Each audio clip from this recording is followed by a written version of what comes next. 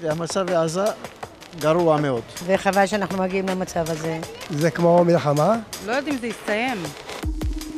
מה שקורה בעזה זה פרובוקציה פלסטינאית פרי אה, ההנהגה החמאסית בעזה. אני יודע שביום השבעה הרבה פלסטינים יצאו מחוץ לגדר, אה, ירו, ידו אבנים, ובהגבה הצבאית אה, אה, הצלפים אה, ירו בהם.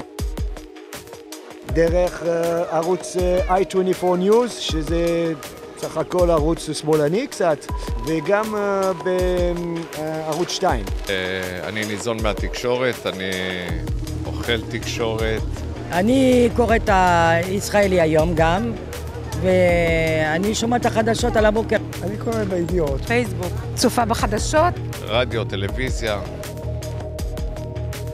זה, אני באמת לא יודעת, לא יודעת מה, מה להגיד לך, אבל... אני לא יודעת, לא יודעת. האמת שלא. אני יודע שעשו את זה בגלל שזה ב... ב...